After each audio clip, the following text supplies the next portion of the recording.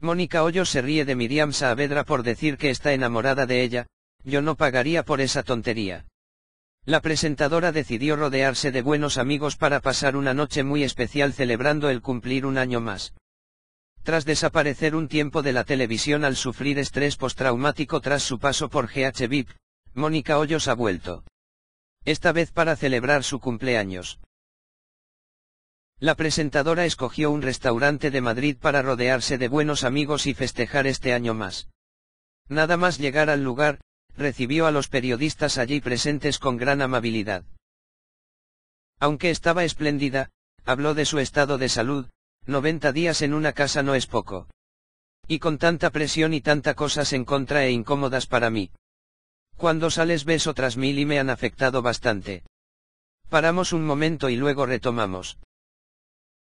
Vamos a celebrar la vida, que cumplimos un año más y hay que celebrarlo, decía nada más llegar.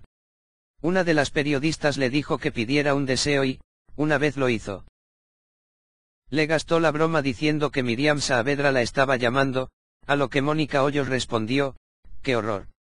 Voy a tirar la tarta a la basura. Pero lo que sí dejó claro es que uno de sus deseos para este año es enamorarse de nuevo.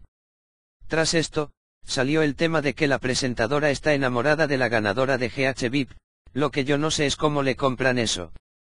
Yo me llevo muy bien con la revista, pero ¿en qué momento estarían para creerse esa estupidez más grande? Yo no pagaría ni una peseta por esa tontería. Otro de los temas que salió a la luz fue el hecho de que faltó a los dos últimas galas de GH VIP, reconociendo que debería haber ido, tendría que haber estado allí sentada para poder debatir porque nadie lo hizo pero en ese momento yo tenía otras prioridades y no estaba fuerte. Tenía gente que tenía que estar bien en ese momento, tenía que estar tranquila. Ausentes pero con protagonismo. Tras todas estas declaraciones, Mónica Hoyos también habló sobre su expareja, Carlos Lozano, y sobre cómo se encuentra tras la muerte de su padre, es el abuelo de mi hija. Es otro nivel.